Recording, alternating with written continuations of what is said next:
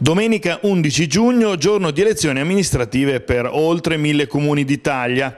Urne aperte, quindi dalle 7 alle 23, per oltre un milione di cittadini. Nelle Marche sono 18 i comuni che devono decidere il proprio primo cittadino e 4 nella provincia di Pesaro Urbino, Frontino, Tavoleto, Colli al Metauro e Terre Roveresche. Per questi ultimi due è un giorno dalla doppia valenza perché sono due neoidentità formate dalla fusione di altri comuni e rappresenta la prima volta di voto congiunto dei cittadini.